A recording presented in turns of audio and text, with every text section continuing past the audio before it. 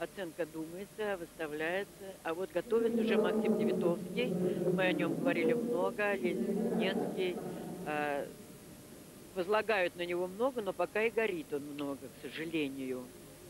Поэтому, может быть, его надо поругать, тогда будет э, получше его старт. Девитовский Максим тоже еще все-таки относительно молодой человек, 84 -го года. А, тренирует его Геннадий Никифорович Столяров, это заслуженный тренер Советского Союза, очень опытный человек. А, Девитовский, папа его родной, э, тренирует Игорь Александрович. И рядом тот же Цимерман Александр Эдуардович, который как бы во всех вопросах им помогает. Вот э, Видите, как тщательно тренер подсаживает э, гимнаста на кольца, потому что надо очень удачно схватиться правильно. Вот пока он хорошо это начало выполнил. Очень.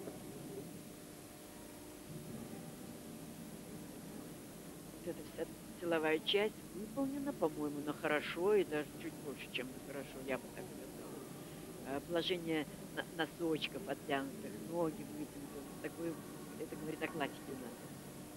Здесь к нему, как говорится, претензий нет. Ну, немножко болтается так. И двойное сальто, прогнувшись станком.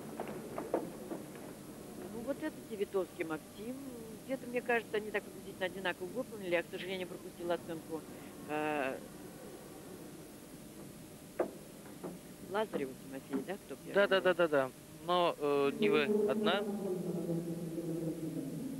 И вообще а, объявлена пока только одна оценка, обнародованная, я бы даже сказал. 8725 это у Юлии Хоркиной было столько. Готовится на кольцах Егор Гребеньков. Э, я полагаю, что мы будем пока следить за им, именно, именно за, коль, э, за финалом на кольцах.